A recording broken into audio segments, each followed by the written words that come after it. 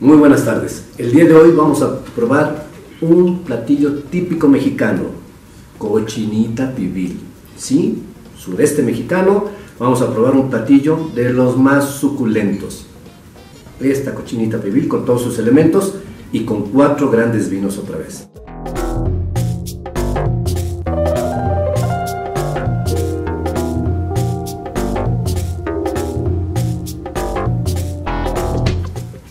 Vamos a prepararlo de una forma particular. Aquí tengo los complementos.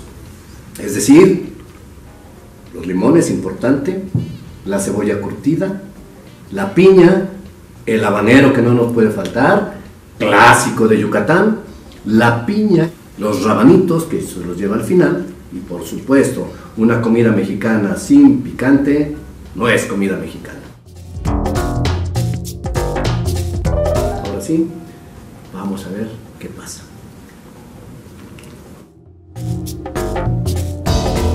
¿Qué les parece si empiezo por un vino tinto?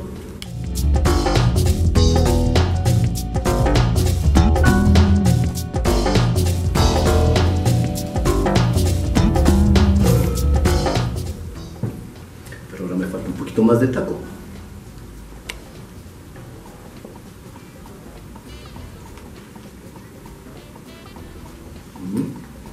Ahí.